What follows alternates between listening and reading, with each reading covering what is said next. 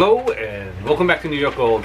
Today I want to go over something a little different. I want to go over some photography stuff, like um, I guess you can call it like tips and tricks. The Northeast Council of all the aquarium societies on the East Coast, they had a photo competition.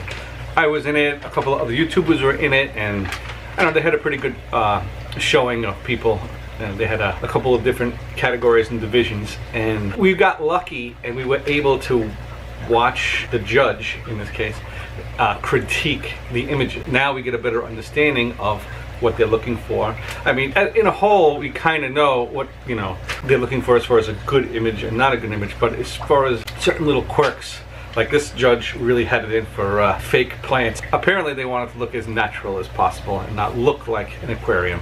They don't want to see gravel and stuff and distraction. So I have a a little list of things. I broke them into three categories, preparation, composition, and the final product. And I'm gonna try to break these into the three steps. It looks like a lot on paper, but when it's all, you know, it's just a good guideline that we can follow, or anyone can follow for uh, uh, the next photo competition, and just to get uh, just to get better shots. I'm gonna try to do this on uh, on the computer, and I don't know, we'll figure something out. So uh, let's see, let's see if this works. First up is preparation. One of the biggest issues is any kind of drips and crap on the front of the glass or even on the other side of the glass, both sides. So I don't I don't want to hear this crap about you can take regular dollar store glass cleaner and spray it on to the tissue. And then you could clean the glass like this. And I don't want to hear anything about your poisons, pesticides, and crap. It's not getting in there. Cut it out. Cut it out already, please. You clean the outside of the glass. So that's step one. Another thing is the glare. The glare is the toughest part to work around, and you can see you can see me in there, and you can see all the stuff in the background.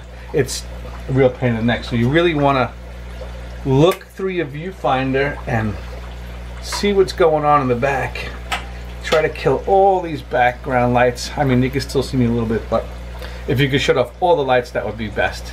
And that's, uh, that's a good tip. All right, another tip to kill the glare is this. Put your camera through a hole in a pizza box. This is matte black. And then when you put it up to the glass, it kills out all the reflection behind you and you can uh, you can't use your flash but you can take a picture that way. So you can do the same thing with your phone. You stick your phone behind it do the same thing. Easy cheapy. I don't even vegans eat pizza so please I don't want to hear you can't afford this piece of cardboard with black spray paint. Easy. Got it Another one is distracting objects. It's hard to see, I think, on the camera, but there's some snails hanging on the glass. And it's just a couple more things for your cameras to fo camera to focus on that you don't want to focus on. And I know all you SpongeBob lovers out there, and Spudgy Boy me Bob, he's gotta, he's gotta go. It's just it's just a distraction. Is it adding to the picture or is it taking away? Ask yourself that question. And some of that stuff, you know, try to make it as natural as you can. So in this case, I would try to kill some of that background, move it in closer, and they don't want to see any parts of the tank in the picture. So you take something like this, and if there was a fish, way we take its picture. Another thing is how close your subject is to the glass. Now when the fish are right up close to the glass, they do a much better job of getting that picture taken. But once they move to the back, it gets it gets tougher for the camera. You got to deal with the water, and it's you're gonna get a much better shot. The closer that guy is to the to me, to that glass, the better shot you're gonna get. So that's uh, that helps a lot. And definitely the lighting. You gotta kind of set that up beforehand. Basically what you're looking for is to brighten everything up and to try to kill the shadows. So look at the shadows of the fish. You see how they change? Shadows in this case are bad. They just take away from the image. So maybe, you know, more overhead. I get an, an overhead light and this is coming from maybe the back or the side. You keep moving it around, whoops, and not bang it into the glass. You can find a sweet spot, there you go, but there's not much shadowing going on. So when you take a picture, if you can avoid using the flash, you won't get a shadow. And you won't have to Photoshop it out later. Last thing on preparation is don't don't use the zoom on your camera, on your phone. Now, don't be afraid to use your phone. These things take banging pictures. The editing software now that you can download or you get for free is fantastic. So you take some cracking good shots with a cell phone. If you stand back, just say, and then zoom in and take the picture, you add a lot of grain to it. So what you want to do is zoom it all the way out and get as close as you can to the image, or your subject rather, take the shot. Then after you take the shot, then you zoom in the crop and that'll give you your best resolution. If you already zoom in and then you zoom, you crop in again on that, it's going to be more pixelated. Take a series of shots, pick out your best one, and then you would crop that one here. I would hit edit, crop, and all right, we like that guy. Beautiful. Yeah. And then save. There you go. Boom. We just did a terrible crop. Did anyone even see that? That's the last one on, what were we talking about? Preparation H. We're up to composition. The first part of composition is the rule of thirds. It's drawing a tic-tac-toe grid on your image and trying to place key elements at certain intersecting points or the lines on the grid. It's more of a guideline, but if you follow it, it helps you with your composition of your image. That leads me to your biggest friend in photography, especially editing, and that's cropping. So no fish is going to just line up on the thirds for you. It's just not going to work out. So you're going to do the best you can to take the best picture you can.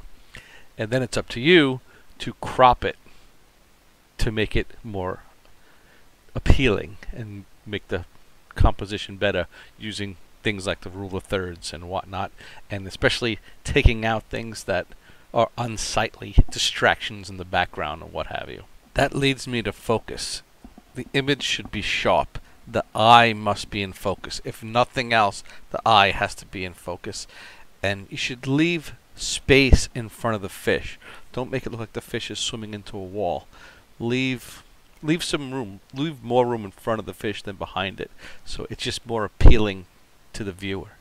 Alright, this is for, it's a little more advanced. If you have a little bit of Photoshop or a little editing program, you could see uh, the filter. You could see the, on the bottom, you could see the silicone line. You could see half of another fish and in front on top of the fish and in front of the fish you see little white dots and I'll show you what it looks like when I clean this stuff up. You can see I got rid of all the unsightly dots. The filter is gone. The half of fish is gone. The white silicone line is gone. Gone. I filled everything in in black, and it just makes a better composed picture, and it's more sightly. It takes a little bit of work, but sometimes that's what it takes. Here's another shot at the angels. You can see the filter on the right, silicone on the bottom, little dot over the over the mouth, some dots in the back, and you see the second angelfish in the back? I kind of nipped off the top of uh, the dorsal fin. And it's a no-no. You shouldn't nip anything off of any of them. But sometimes it happens. But you try to avoid it. And this is what it looks like cleaned up. Silicone gone, dots gone. That fin nip is still there. I notice it, and now you notice it. But look, it's still a decent shot. Uh, filter's gone blackened everything in and that's some of the things you know you do to make a better image. In closing I want to say it's not the type of fish that you're shooting it's the quality of the image. It doesn't matter what kind of fish you have. You could be up against lionfish tigerfish bearfish it just doesn't matter. If the quality of your image is better than theirs then you win the race. It's as simple as that. Just to prove a quick point before I go here's one of the prettiest fish in our hobby. This is the Marine Betta. This is a, well, not a great shot, but it's a shot of a Marine Betta. Now, one of the most bland, I, you could say boring fish in our hobby is the female guppy. And I'm going to put some female guppy shots up against this and show you that you can have a better shot of a more boring fish than the most exciting fish.